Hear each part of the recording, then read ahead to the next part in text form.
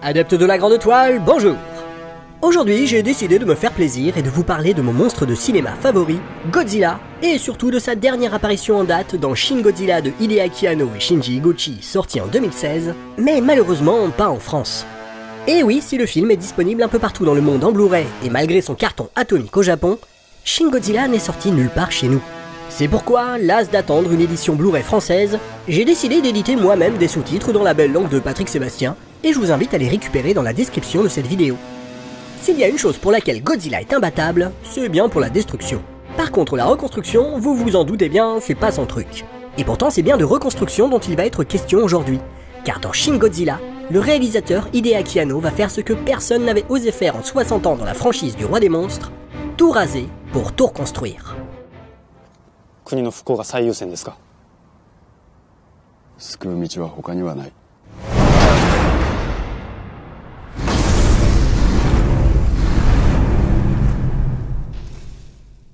Après 60 ans d'histoire et une trentaine de films, dont deux remakes américains, la revivification d'un mythe aussi célèbre que celui de Godzilla n'est pas une tâche aisée. Car s'il s'agit de la franchise la plus longue au monde, et oui, désolé James Bond, c'est aussi l'une des plus hétéroclites. Ishiro Honda, le réalisateur du tout premier Godzilla, a lui-même abandonné le ton horrifique et dramatique de son chef-d'œuvre de 1954 pour s'essayer à d'autres genres très différents. Par exemple, la comédie d'aventure avec le troisième film de la franchise, King Kong vs Godzilla ou encore la fantasy poétique avec Mothra vs Godzilla. Mais aussi la science-fiction avec une imagerie très pulp dans Invasion of Astro Monsters. A vrai dire, on y trouve un peu de tout dans cette franchise. Des films sérieux, des nanars, une parodie, des extraterrestres, encore des extraterrestres, beaucoup d'extraterrestres, du fantastique, du drame social et même du cinéma engagé des 70s. En une poignée de films, le monstre terrifiant né des horreurs de la Seconde Guerre mondiale deviendra même le héros d'une série de films pour enfants. Franchement, vous imaginez qu'on fasse la même chose avec le xénomorphe d'Alien? Ouais bon, oubliez ça. Tiens, à propos d'Alien, ça, ça ne vous rappelle rien? Eh oui, la franchise Godzilla a souvent lorgné du côté d'Hollywood, avec des clins d'œil plus ou moins assumés, comme ici, là, ou encore là, ou là, attention c'est assez subtil. Shower reported, sir? What, that we're being invaded by little green men from outer space? Let's just keep it as our secret. You can tell your son about it when he's born, Major Spielberg. Sir, yes, sir!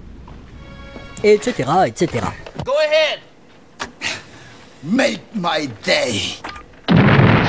Jusqu'à l'inévitable moment où Hollywood a fini par s'intéresser au monstre atomique nippon avec plusieurs projets avortés, puis avec le très mal aimé remake de 1998 par Roland Emmerich.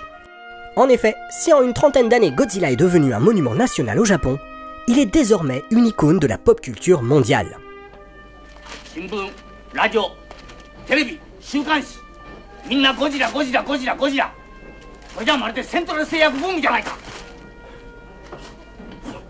Mais même si les auteurs des films de la franchise se sont permis pas mal de liberté avec le roi des monstres, comme le faire voler,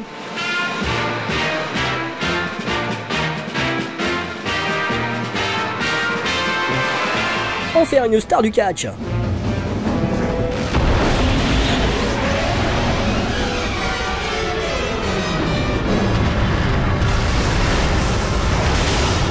ou encore lui coller deux marmots entre les pattes, il y a malgré tout quelques règles immuables à respecter dans tout ce bazar. Premièrement, Godzilla arrive toujours par la mer. Bon, comme le Japon est une île, c'est un peu une évidence, mais c'est un point sur lequel je reviendrai plus tard. Ensuite, la signature la plus reconnaissable du roi des monstres, c'est son cri. Celui-ci n'a quasiment pas bougé de toute la franchise, y compris dans les remakes américains.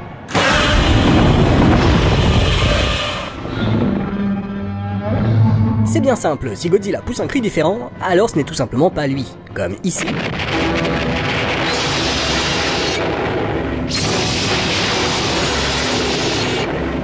Où Mechagodzilla a en fait usurpé l'identité du véritable Godzilla. La posture du monstre atomique a également son importance, car ce dernier se tient debout. On peut y voir une contrainte liée à l'utilisation de cascadeurs dans les costumes. Néanmoins, cette posture lui confère une certaine majesté qui s'y est plus à un demi-dieu qu'à un simple animal mutant. Par exemple, les possibilités d'animation offertes par les CGI ont permis à Emmerich de s'affranchir de la démarche anthropomorphique de Godzilla pour en faire une créature plus rapide, plus mobile et plus réaliste dans son remake de 1998. Mais ce faisant, il trahissait l'une des caractéristiques les plus importantes du dinosaure atomique pour n'en faire qu'un simple animal un peu paumé qui bouffe du thon. D'ailleurs, si le design de la créature est souvent différent d'un film à l'autre, la forme générale reste à peu près la même, sauf chez Roland Emmerich. Il y a aussi un point très important à respecter, Godzilla est quasiment indestructible et ne peut être vaincu par des armes conventionnelles, sauf chez Roland Emmerich. Enfin, le roi des monstres est doté d'une arme terriblement puissante, son souffle atomique, sauf encore une fois chez Roland Emmerich. Et n'allez pas croire qu'on peut fouler du pied ces règles sans en payer le prix. Par exemple, malgré un score pas foufou, mais pas non plus déshonorant au box-office mondial, le Godzilla de Roland Emmerich a été vécu comme une trahison par les fans du monstre atomique, mais aussi par la Toho, qui produit et distribue les films japonais de la franchise. Ne méritant plus son statut de dieu, la créature d'Emmerich perdra même le préfixe God pour être rebaptisée Zilla dans le canon officiel.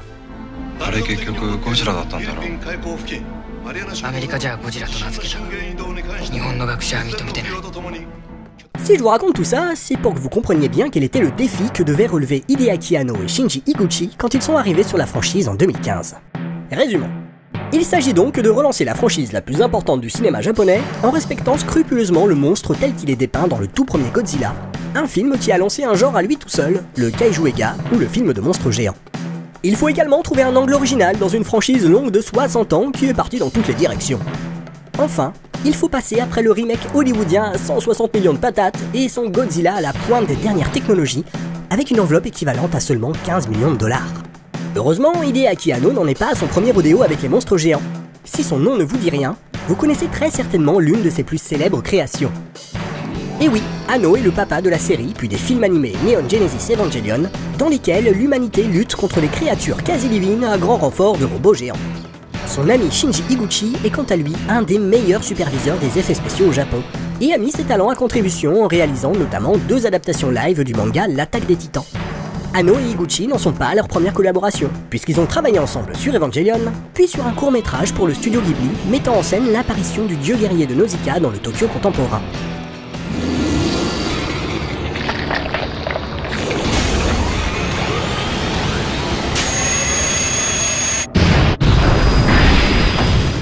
Un court métrage qui montre déjà la capacité du duo à tirer le meilleur des méthodes traditionnelles du kaiju Ega, et notamment de l'utilisation de maquettes. Sur Shin Godzilla, Hideaki Anno occupe les postes de scénariste et réalisateur, tandis que Shinji Higuchi s'occupe de réaliser les séquences à effets spéciaux. C'est pourquoi je vais partir du principe que Anno est la tête pensante du duo. Alors loin de moi l'idée de dénigrer l'impressionnant travail de Shinji Higuchi, qui tire parti du moindre centime d'un budget rikiki pour nous offrir des scènes très graphiques et spectaculaires, malgré les limitations technologiques. Mais ce qui va surtout m'intéresser ici, ce sont les choix radicaux de Anno pour relancer la franchise Godzilla. Ce dernier aurait très bien pu se contenter de faire un énième film hommage à l'icône qui est devenu le monstre atomique. C'est le cas par exemple du reboot de 1985 qui pousse un peu loin la déférence envers Godzilla, notamment avec la chanson du générique de fin.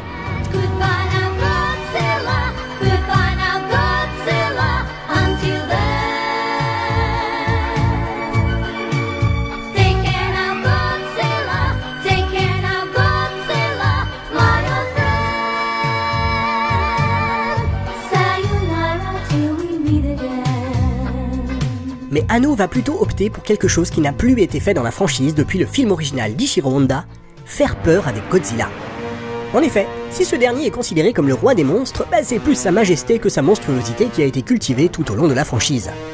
À mesure qu'il assied sa suprématie sur les autres monstres à grands coups de tatane dans la poire, Godzilla troque peu à peu son look de chimère atomique pour devenir une sorte de dinosaure géant. Le seul à avoir tenté de proposer un Godzilla plus monstrueux, c'est Shusuke Kaneko, qui est également le réalisateur de l'indispensable trilogie Gamera.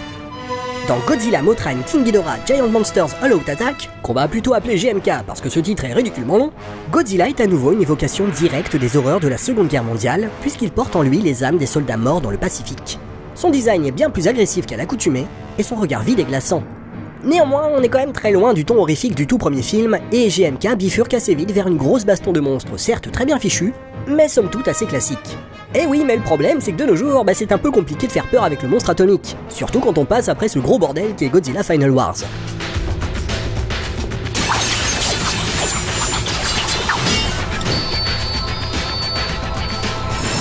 C'est pourquoi Hideaki Anno va choisir de repartir de zéro.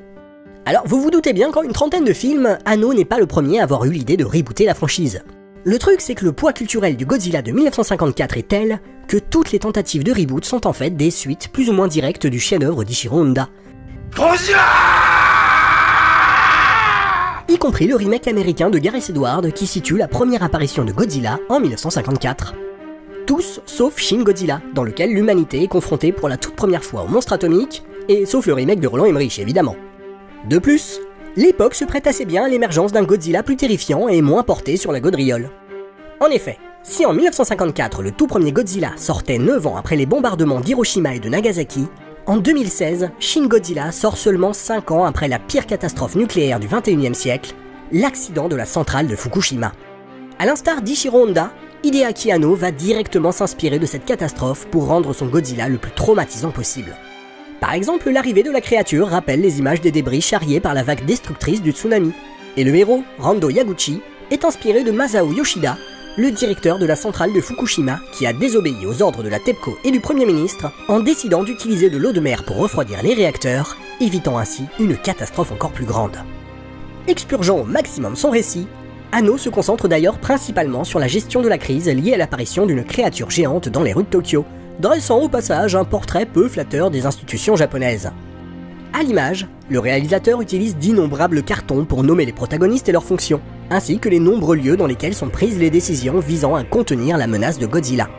S'il en découle d'abord une impression de réalisme presque documentaire, qui était déjà présente dans le Godzilla de 1954, on est très vite submergé par la complexité des institutions japonaises, et les incessants allers-retours entre les différents étages de l'immeuble du gouvernement japonais ne sont pas sans rappeler une certaine satire de la bureaucratie bien de chez nous. Hein, que désirez-vous? Le laisser passer à 38. Voilà Et allez-vous-en Il y a des gens qui travaillent ici Le ton caustique de Hano se traduit également par le montage. Ainsi, il n'hésite pas à ralentir le rythme quand les protagonistes font du surplace, à inverser certains mouvements de caméra quand le gouvernement fait du rétropédalage.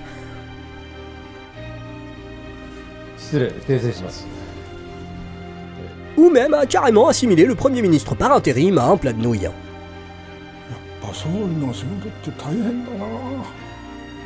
Le regard d'Hideaki Anno envers cette chaîne pyramidale de commandement est très critique.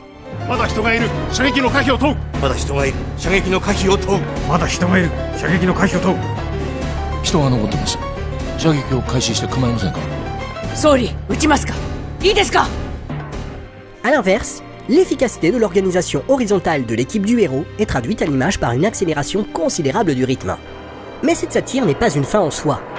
Le projet d'Hideaki Anno n'est pas seulement de réactualiser le mythe de Godzilla, mais de le reconstruire. Et pour ce faire, il va opposer à ces institutions japonaises sclérosées par la bureaucratie une créature qui, elle, est capable de s'adapter et d'évoluer. Car Godzilla est avant tout un mutant, une créature préhistorique qui, après avoir été exposée à des radiations, deviendra un titanesque monstre atomique. Si dans la franchise cette mutation fait surtout office de backstory, Hideaki Anno, lui, va mettre cette capacité d'évolution au cœur du récit. En effet, si Shin Godzilla reprend pas mal d'éléments du Godzilla de 1954,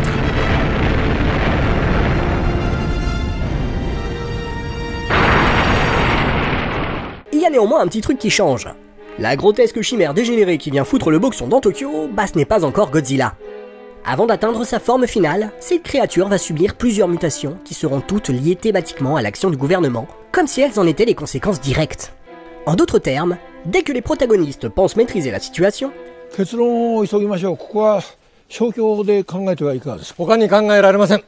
Godzilla punit en quelque sorte cette arrogance en évoluant vers une forme plus redoutable.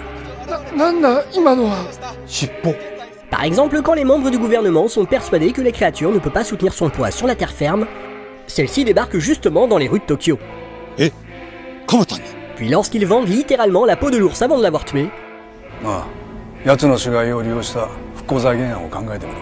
la créature se dresse sur ses pattes et lance son célèbre rugissement, un cri qui est d'ailleurs exactement le même que dans le Godzilla de 1954. Après la première incursion de la créature, quand l'équipe de Rando Yaguchi baisse un instant sa garde et s'offre un court moment de relâchement, la créature marche sur Tokyo pour la seconde fois, affichant désormais la forme reconnaissable de Godzilla. L'armée aura beau déchaîner tout son arsenal, la créature se révélera être indestructible, et même les missiles les plus puissants ne lui feront pas une égratignure. Enfin, après l'échec des forces de défense japonaises, c'est au tour de l'armée américaine d'agir contre le monstre atomique. C'est alors que Godzilla va déchaîner son feu nucléaire dans une séquence traumatisante qui se soldera par la mort du Premier ministre et de son cabinet, ainsi que la destruction de la moitié de la ville. Le gouvernement qui maintenait jusqu'alors un semblant de contrôle est en ruine, tandis que Godzilla est enfin complet. Désormais, il ne menace plus seulement une ville ou un pays, mais l'humanité tout entière. Dans le titre du film, Shin signifie vrai, mais aussi Dieu. Anno s'est demandé ce qui faisait l'essence du roi des monstres, puis il a assemblé toutes les pièces du puzzle pour recréer le vrai Godzilla. Une créature quasi immortelle, indestructible, au pouvoir terrifiant. Finalement, Shin Godzilla n'a pas à rougir de son concurrent américain, car dans un paysage cinématographique saturé par les apocalypses boursouflées et rigolardes, Hideaki Anno a non seulement revigoré le mythe de Godzilla, mais il en propose également la version la plus cauchemardesque. En effet, si en 60 ans la menace nucléaire est un peu passée de mode sur nos écrans, Anno nous rappelle que les thématiques développées dans le Godzilla d'Ichiro Honda sont malheureusement toujours d'actualité.